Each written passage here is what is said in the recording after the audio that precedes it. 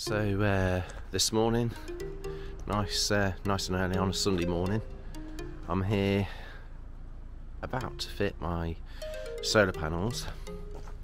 Um, I've chosen a low profile look and uh, just to make sure that I stay clear of the bridges and everything else.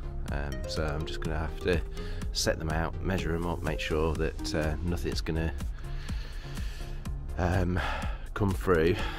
Let me show you around. So, as you can see, I've chosen these brackets. I've just put them up there for the time being. See the other ones are not uh, unwrapped properly yet. But I've gone for these low profile fittings. I'm not going to go tilting. Um, but I'm just going to make sure this is my living room and I believe my chimney for the log burner is going to come out about here but I'll measure up make sure that's going to be the case. Um, but I'm going to go two aside uh, sorry two wide and uh, three long. So um, let's uh, measure them up so they're perfect and uh, get them glued and screwed down so they can't be uh, so the wind can't affect it. Um, I'll show you the stuff that I'm using and I'll also put some links in the description below if you uh, are interested in getting them yourself.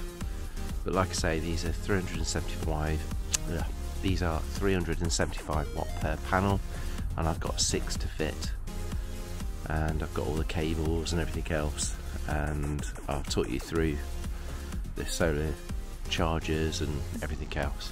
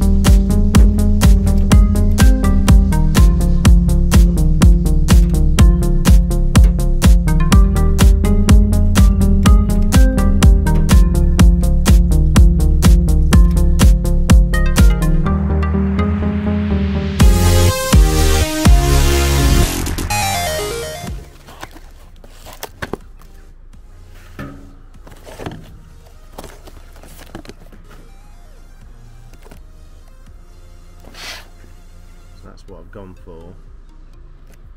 Just going to read the instructions, make sure that I can actually use it.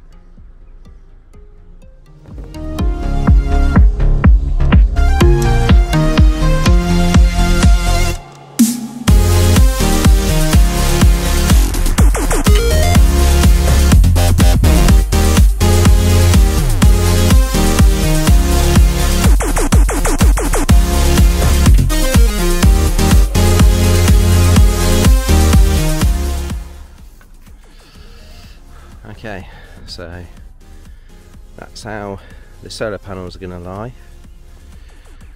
I've levelled them out, giving me enough walk space either side really.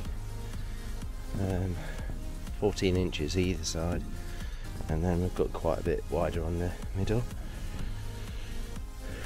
Let's have a look, see what it looks like from that end. Yeah, that looks quite square for me. Gone for the middle to leave the back end, uh, the stern quite clear. so I've got plenty of uh, area I can stand on there for when I'm in locks and things. And also I've kept the front completely clear just in case I wanted to sunbathe up here. I doubt I need to but